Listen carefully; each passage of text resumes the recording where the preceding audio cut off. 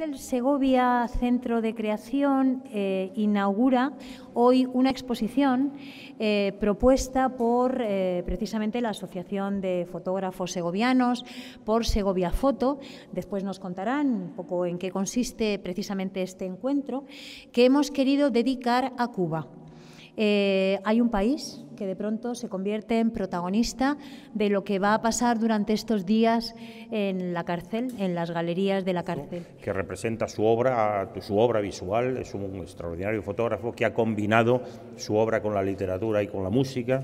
Cristóbal Halter ha sido un referente a través de la ópera Don Quijote en connotaciones de su obra y hoy es un honor estar aquí con todos vosotros para rememorar las obras de un hombre, de un artista que se atisba en los ecos del hombre, en los ecos de cómo ver el mundo de un modo diferente y cómo ver una ciudad también y una connotación de un pueblo de un modo diferente. Hoy es un buen día.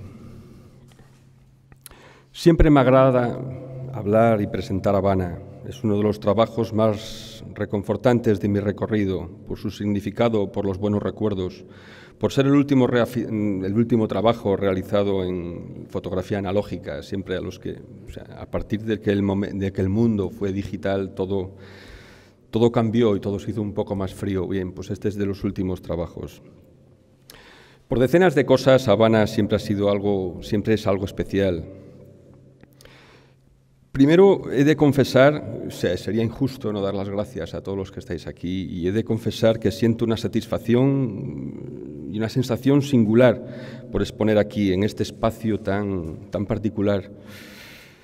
Una fotografía no es una pintura, ni un poema, ni una sintonía, ni un baile. No es solo una imagen bonita, no es un ejercicio de contorsionismo, ni de calidad perfecta de copiado.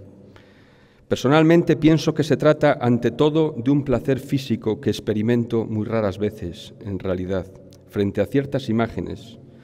Cuando ocurre un milagro gracias al cual todo se convierte en pura armonía, desde la imagen que quería manifestar a otros y a mí mismo, hasta los instrumentos usados para obtener el resultado final.